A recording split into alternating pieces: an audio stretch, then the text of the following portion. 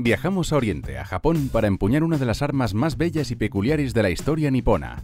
Su nombre completo, Kusanagi no Tsurugi, aunque se la conoce también con el poético nombre de la espada de la lluvia de las nubes en racimo, o incluso como la espada de la serpiente. ¿Quieres saber más sobre ella? No te pierdas este vídeo. Kusanagi, las leyendas de la espada japonesa. Si eres un aficionado al manga o al anime, es posible que la hayas visto en emblemáticas series como Naruto, Inuyasha o One Piece. Es sin lugar a dudas una pieza única y especial dentro de la historia de Japón, y varias fuentes aseguran que esta espada mítica existió realmente. Es un arma muy antigua que se remonta a la edad del bronce, completamente recta y con doble filo. Su empuñadura no es muy llamativa y pesa un poco más que las clásicas katanas. Según la descripción del sacerdote del periodo Edo, Mide unos 84 centímetros, es blanca y tiene forma de diente de perro. Representa el valor y la audacia y es uno de los tesoros imperiales de Japón, pero no la encontrarás exhibida. A día de hoy, se piensa que permanece oculta y protegida en el santuario de Atsuta, ya que se pensaba que era la causante de la enfermedad del emperador Tenmu en el año 688. Tal vez el regente había perdido el valor y su propia arma lo había castigado. Desde entonces, Kusanagi cargaba con una maldición o castigo para aquel que se atreviera a empuñarla sin merecerlo. Existen muchísimas leyendas de la, por así decirlo, la Excalibur nipona, pero con la diferencia de que Kusanagi no es tanto una espada para empuñar en campos de batalla, sino más bien para ritos ceremoniales, y es que es capaz de controlar el viento, de ofrecer valor y de crear increíbles prodigios. Kusanagi y la serpiente de ocho cabezas en la provincia de Izumo, una serpiente de ocho cabezas tenía aterrorizada a una rica familia, hasta el punto que había devorado a siete de las ocho hijas del matrimonio. El padre pidió ayuda a uno de sus dioses llamado Susano, quien conmovido por la situación atacó a la criatura.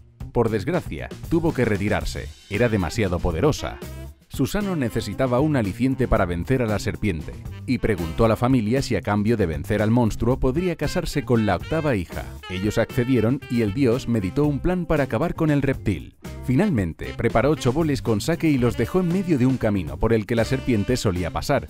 Esta bebió y cuando estaba dormida, sumida en el sopor de la borrachera, Susano le cortó las ocho cabezas. Cuando cercenó su cola, apareció una espada, Kusanagi, Susano se quedó con esta arma que guardó como un tesoro, hasta que la ofreció su hermana Amaterasu para hacer las paces y que la diosa le permitiera volver del exilio. Por eso Kusanagi recibe también el nombre de la espada de la serpiente.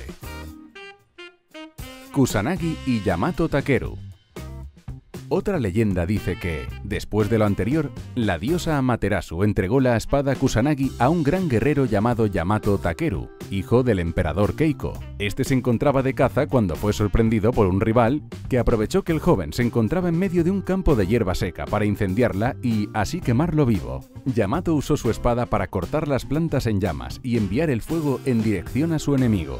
Tras tal hazaña, Kusanagi se hizo famosa y su nombre empezó a resonar en todos los rincones del Japón antiguo, como un arma capaz de dominar la brisa, el fuego y la hierba de los campos. Naruto y la espada Kusanagi Por supuesto, un arma legendaria nipona como esta debía tener su espacio en las series anime japonesas que revisan el folclore de este país, mezclándolo con fabulosas tramas y personajes que han cautivado a un gran público.